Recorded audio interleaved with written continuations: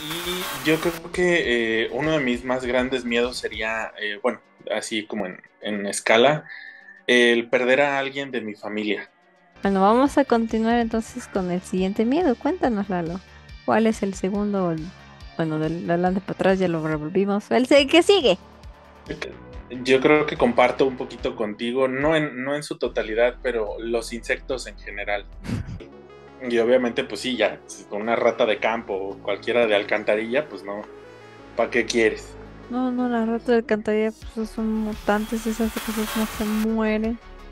Hola chicos, bienvenidos a un nuevo video más de Caballeros 5 Soles. En esta noche de terror, básicamente estamos en el mes de octubre, claramente, obviamente estamos todos con temática, no nos juzguen.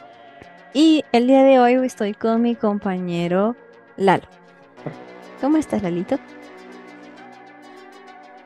Hola, hola, bien, bien, ya aquí, listo para, para, ya sé, ya, ya para, para descubrir esos miedos que nos atormentan a todos.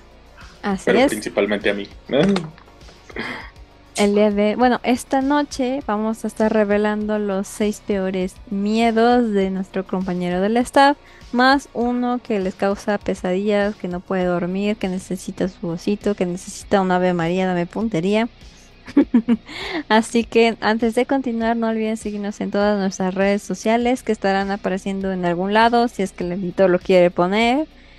Lo estoy regañando en este preciso momento. Gracias, editor. Me va a poner un meme seguramente. Pero en fin, vamos a empezar con esta dinámica terrorífica. Vamos a empezar del menor al mayor. ¿Te parece, Lalito? Vamos a empezar con el número 6. Ok, muy bien.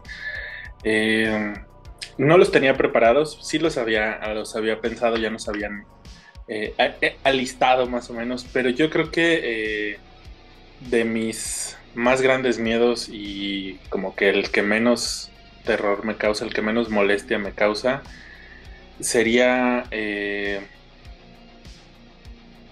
es un miedo que fíjate que, como lo comentábamos, para que tengan un poco de contexto, vayan a ver la, cápsula de miedos de, mi compañera Jen. Otra vez. Ya sé, ay Dios mío. E, eso también tiene contexto en su cápsula.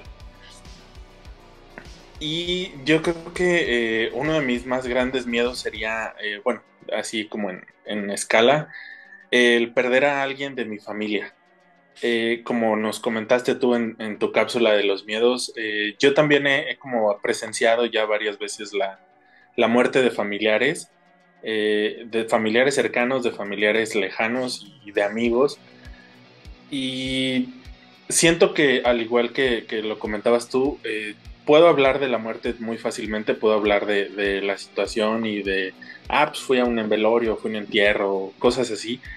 Pero ya el estar eh, viviéndolo tú, el estar presenciándolo, siento que sí es algo de lo que de lo que tengo miedo, pero principalmente es como, como el miedo eh, a perder a mi familia nuclear, a mi familia directa, a mis papás, mis hermanos, este, mi pareja, como que ese, ese miedo a, perder a alguien tan cercano, porque digo, si, si han fallecido mis abuelos, por ejemplo, ya mis cuatro abuelos ya no los tengo, mis tíos, algunos, algunos hermanos de mi mamá, hermanos de mi papá, pero siento que eh, uno de mis, de mis miedos más grandes sería perder a alguien de mi familia directa. Sí, sí, se entiende. Y el hecho de que digas que, bueno, en mi caso sería qué hago, qué voy a hacer. O sea, sí se siente feo el saber, ya no está. Y usualmente como que, no sé si te ha pasado que dices, como que me falta esa presencia, o sea, se siente el vacío de, dices, bestia. Sí, sí, sí, sí, sí es bastante, bastante pesadito. Fíjate que eh, creo que este miedo lo descubrí precisamente hace, hace no mucho.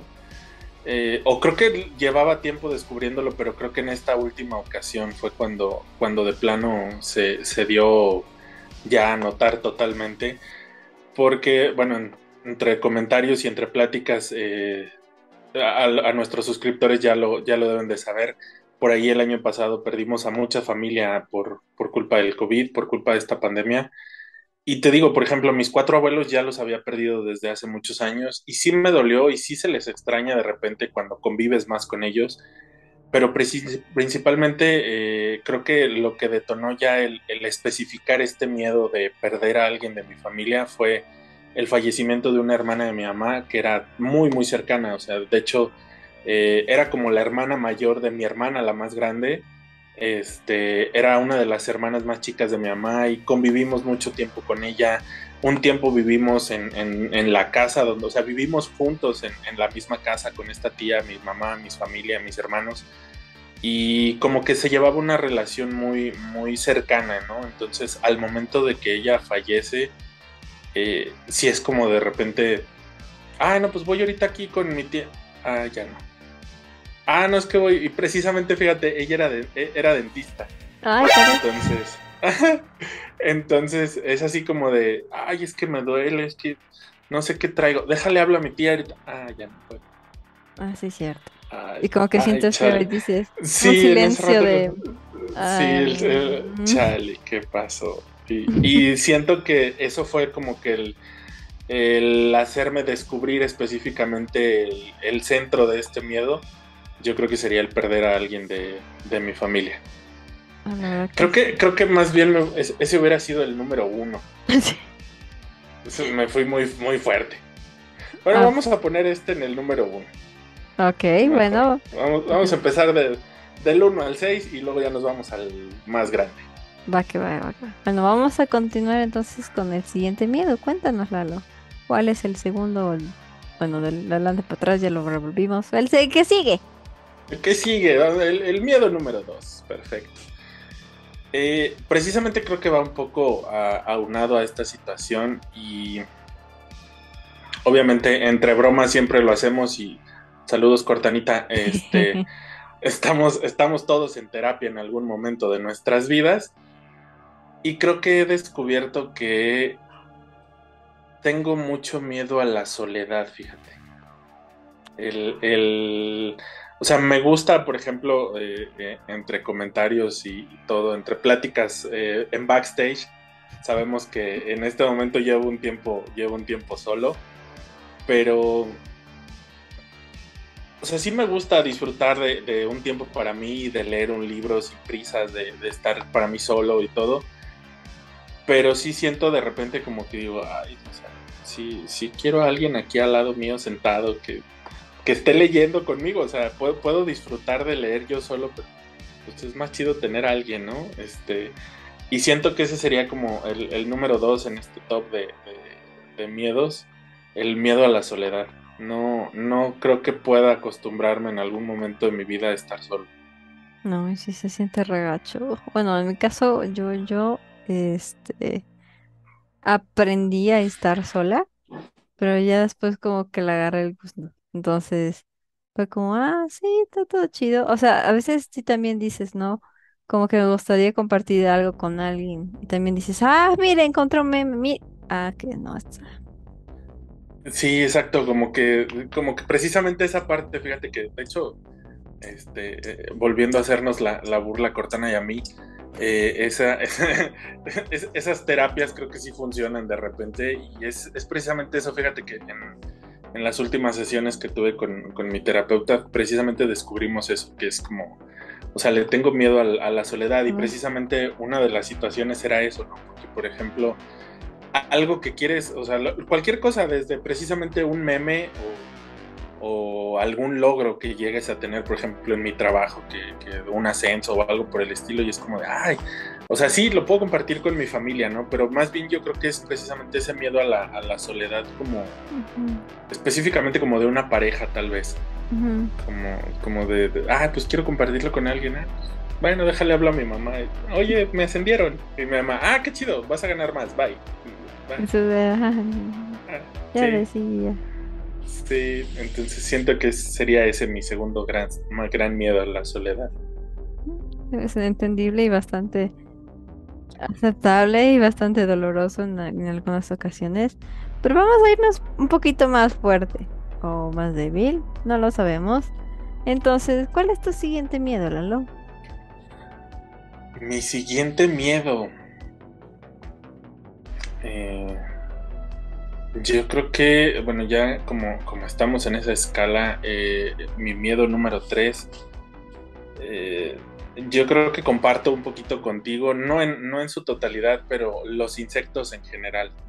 Eh, el, por ejemplo, las, las arañas, fíjate que no me dan tanto miedo, pero las cucarachas y sí, sí, sí, las cucarachas, este, los los saltamontes como tal, los, los más grandes, así. Ah, los saltamontes, así, las, las cosas enormes este, las libélulas, por ejemplo, como que cierto tipo de insectos que sí, que sí me causan así como un, terror así muy cañón.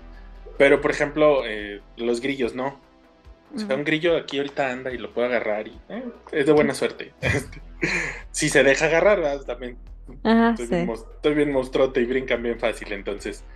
Este, pero sí siento como que ciertos, ciertos insectos precisamente, pero haciendo referencia a un meme y el que, el que descubra ese meme escríbalo en, los comentarios. Eh, es, es una, parte de una rutina de stand-up. El que, el que describe en los comentarios se va a llevar un premio de parte de Caballeros 5 Soles. Yo me encargo de eso. Uh. todo hombre es macho hasta que la cucaracha vuela. Ay, no. Sí, no, yo, yo, puedo ver la cucaracha caminando por allá y así como, ah, pues no está cerca de mí, no pasa nada. Y así como que le avientas la chancla o la escoba y dices, no, ah, pues, ay, no la maté, bueno, ni modo. Pero ya en cuanto vuelan. Ah, sí, no, no se saca no, incendio la casa, quema la muda. Sí, no, sales pero sí volando. Todo hombre es macho hasta que la cucaracha vuela. Nunca, sería mi, ¿Nunca te ha tocado que, que, que caminen y caen del techo? Sí. Horrible. y luego. Sí. Antes, antes, ah, me va a ser que como un blooper slash este, anécdota divertida. En uno ah, van a adivinar, o tiene que ver bien los videos de Caballeros 5 Soles. En uno de los videos, este, antes de hacer toda esta grabación, a mí se me, sí, literalmente había una cucaracha en el techo y cayó, y, pero fue antes de empezar a grabar. Entonces antes, cuando se empezó a grabar, yo todavía estaba como que chiscada de que a ver si no se había metido otra o si llovía en el techo. Y entonces deben haber notado en alguno de esos videos, yo tampoco me acuerdo cuál, pero sí lo puedo identificar, que yo estaba como que mirando a todos lados, tratando de ser lo más discreta posible, porque aquí las cucarachas llueven y son tamaño, no sé, mutantes, titanes, tan gigantes, se me aparecen siempre a todos lados. Como las de los padrinos mágicos, ¿no? Dominación mundial. Sí, sí, sí, sí, sí. Una vez, una vez, como anécdota triste, es que Después de esa anécdota de que se me cayó, bueno, hubo un momento en el que se hizo una pausa. En un momento de, de, esas, de esa mágica noche. Y yo salí tranquilamente al baño. Bueno, abro la puerta, prendo la luz y ¿qué es lo que veo en el lavabo? ¡Ya, dominio total del mundo! Otra cucaracha. Ok. Digo, bueno, voy a ir por la escoba para asesinarla, ¿no? Y el insecticida. Bajo, prendo la luz de la cocina, voy a abrir la puerta y veo dos antenitas también y digo, vale, venga. Ok. La invasión. Y luego regreso, todo bonito, todo chulo. Y había otra ahí en el piso. Yo dije, no, no, no, no, no. Ok, sí, sí estaban invadiendo tu casa. No pude volver a dormir ese día. Me imagino. Sí, no, yo, yo tampoco, sí. Yo, yo tampoco, yo sí soy de los que no duermo hasta que la mato. Y si se mete abajo, pues, levanto la, todo. hasta que la mato, no me quedo en paz. No, no, no, no, no. Bueno, vamos a continuar con tu siguiente miedo en lo que nos quitamos esa anécdota de cucaracha en mi casa. Ok. Eh, bueno, yo creo que mi siguiente miedo, exactamente, yo creo que siguiendo con los animales, no sé si es de la misma intensidad, porque pues las cucarachas sí las mato y es como más fácil, pero todo hombre es macho hasta que la cucaracha vuela. Eh, mi siguiente miedo eh, en esa escala serían, por ejemplo, las ratas. ¿Cualquier tipo de rata o, los eh, colores? no, cualquier tipo, hasta los ratoncitos blancos me dan, me dan ansias. Me, causan como un algo, o sea, sí puedo, soy muy fan de Pinky Cerebro, pero, pero no, no, no, o sea, cualquier, así sea un ratoncito así chiquito, blanco, de esos bonitos de laboratorio que te venden como mascotas, no, no, no, o sea, muy bonitos en sus jaulitas y todo, pero ya cuando lo sacan es como, ah, bueno, ahorita vengo, adiós. ah. Y obviamente, ah, sí, adiós, bye. Y obviamente, pues sí, ya, una rata de campo o cualquiera de alcantarilla, pues no. ¿Para qué quieres? No, no, las ratas de alcantarilla pues son mutantes, esas cosas no se mueren. Las ratas bonitas, las, eso sí puedo decir. Las ratas blancas, cuando ves que su colita es rosita. cuando las agar la agarra la colita, está bien suavecita, parece un, no sé, un peluchito. Está, bien, yo quería un ratón. Pero mi familia no me deja tener un ratón. Fíjate que en, su momento yo también quise un ratón. Precisamente yo creo que de, parte de Pinky Cerebro me nació esa, esa idea de querer tener un ratón. Y sí me lo iban a comprar, precisamente. Y es como de, ah, pues vamos a escogerla. Porque dijeron, bueno, pues es como un hámster. O sea, es lo mismo. Pues de comprarle un hámster, el niño quiere un ratón, comprarle un ratón. Y ya cuando lo agarré fue así de, no, no, no, no quiero. No, mejor no. No, no, no, no pero los hamsters no, o sea, es específicamente como las ratas o los ratones, o sea, todo así, porque los roedores como tal, por ejemplo, un, un, este, un hámster, una, ay, ¿cómo se llaman estas otras cosas largas? Sí. Ah, eh, la, los hurones. Los hurones, por ejemplo, esas no me dan miedo. Ah, bueno. Sí, o sea, no, sí, un hámster no, y lo agarro. Y un erizo, por ejemplo, también, que es parte de roedor pero no, los, los ratones desde, desde esa vez precisamente me lo iban a comprar y fue así como, ay, sí, me lo pusieron en la mano y fue de, eh, no, no, mejor no. Ten, ten, ten, Sí, lo aventé. Entonces lo regresé así a la serrina y yo, no, no quiero nada, gracias. Gracias, está bien, gracias. Mira, un hamster, ah, sí, eso sí, eso se agarra su botella y empieza. Sí, sí, específicamente sería como a, los ratones y ratas en general. Sí. Ah, sí, sí, sí, sí. Bueno, de los ratoncitos, ah, yo sí quiero tener todavía mi ratoncito, aunque creo que la, lo de los hamsters, creo que los dueños de los hamsters, su mayor fobia, creo yo, es que se les muera de la peor o la más graciosa forma.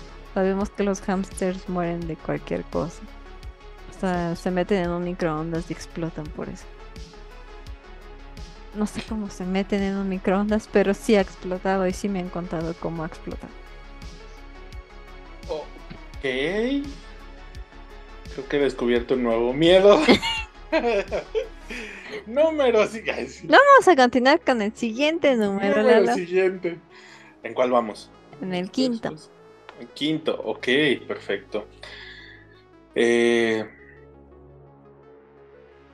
yo creo que este ya sería un poco más eh, psicológico precisamente y muchos de mi generación y generaciones más recientes también no me van a entender. Topaz no es burla, jefecín, no me funes, no es burla.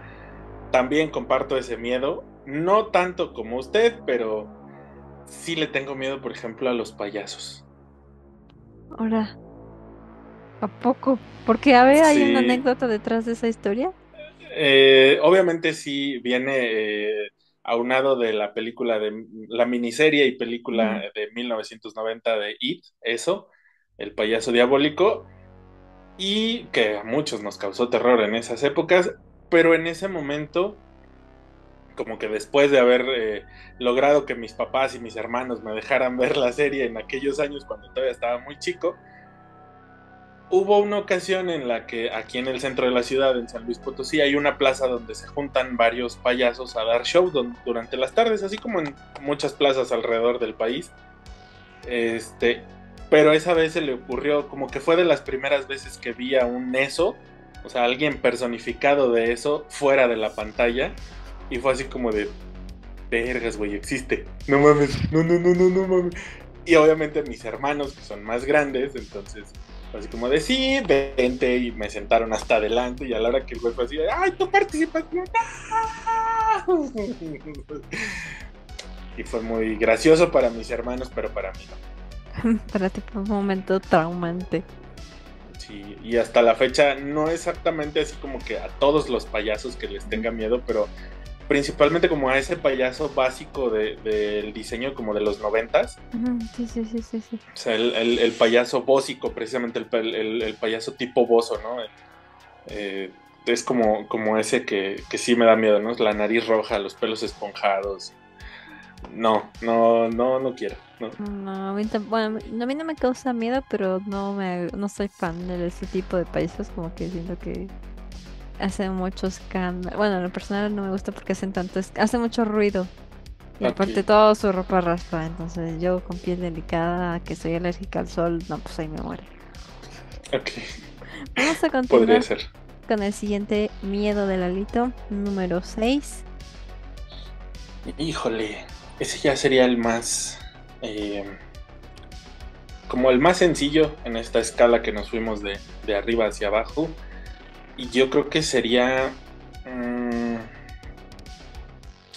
un poquito dentro de, la parte del, segundo miedo que les platiqué, del miedo a la soledad, yo creo que sería un poco el miedo al rechazo.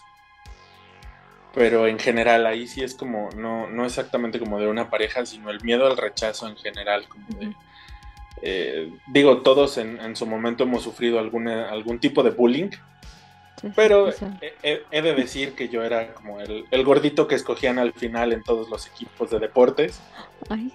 En su momento. Entonces era como de, ay, pues me toca este güey, pues ya ni pedo, vente, güey. Y así, ah, párate ahí, no hagas nada. Oh. Sí, está en mi equipo, pero pues hay que se quede. Oh. Entonces fue como de, tengo ese, ese miedo al, rechazo y a la aceptación, como que sí, sí tengo un trauma con eso, de que, de que me rechacen o de...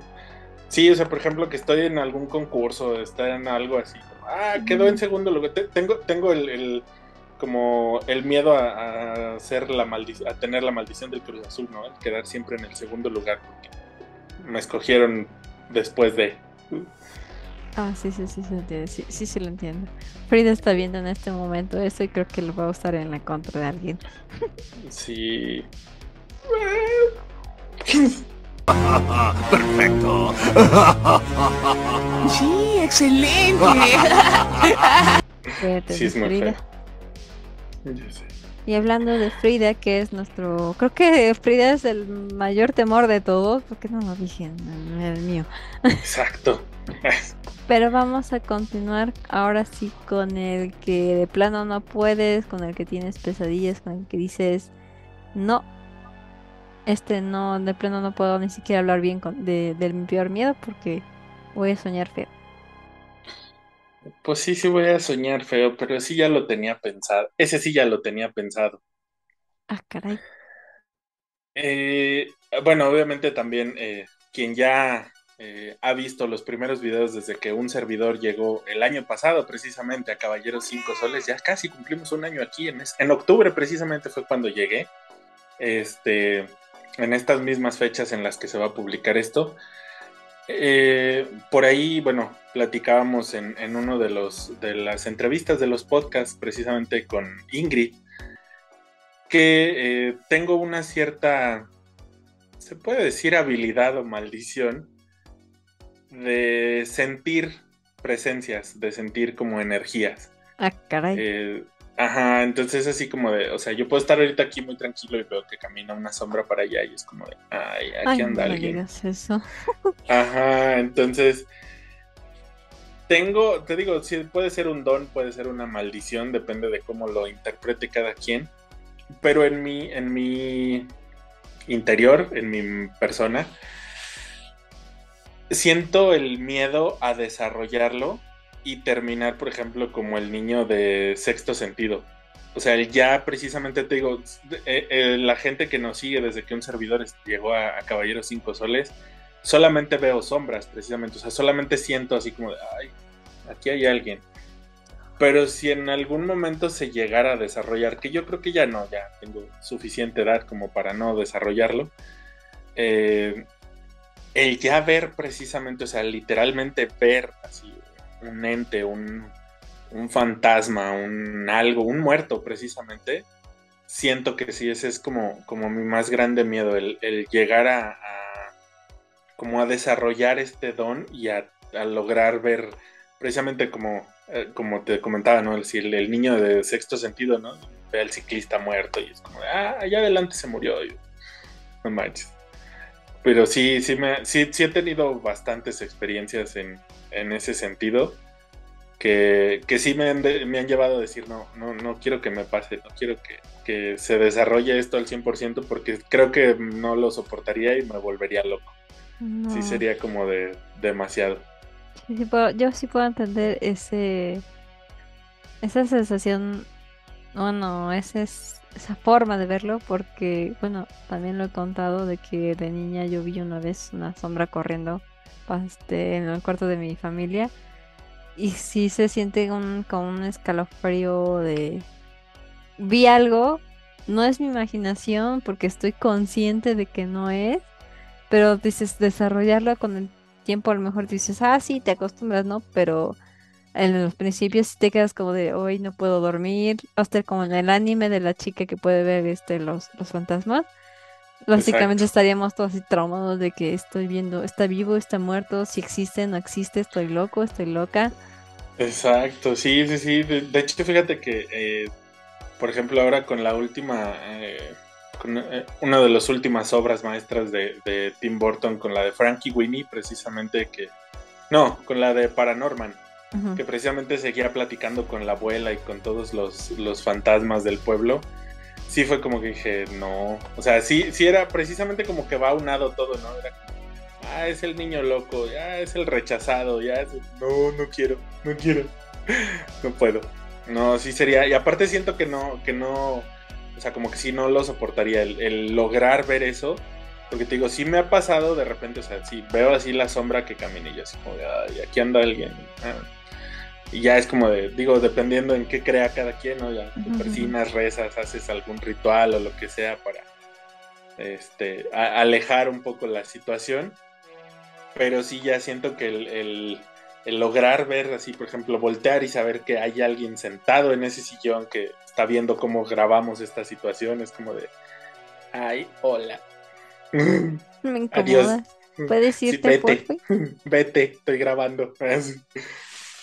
ah, no, pero sí, sí, sí llega a entender eso.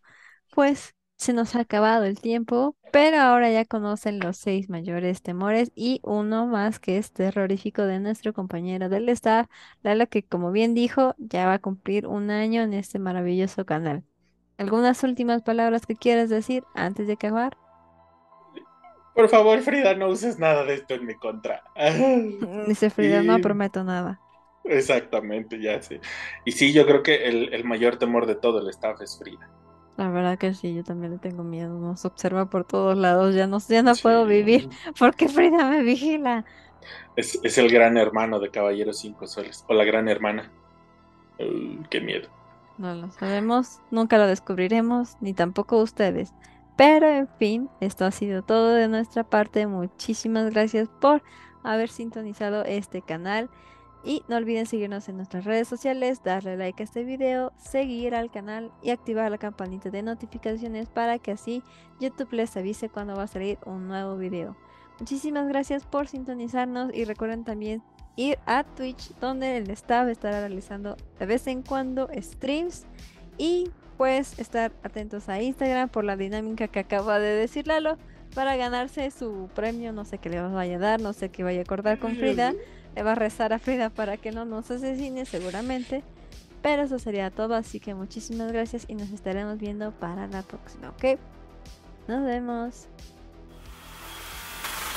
Gracias por ver este video. Si aún no estás suscrito a Caballero 5 Soles, te agradeceríamos mucho que nos regalaras un follow, porque así nos vas a ayudar a crecer muchísimo. También aquí te dejo más videos del canal para que conozcas más de nuestro contenido. Y sin más, nos vemos en el siguiente video. Bye.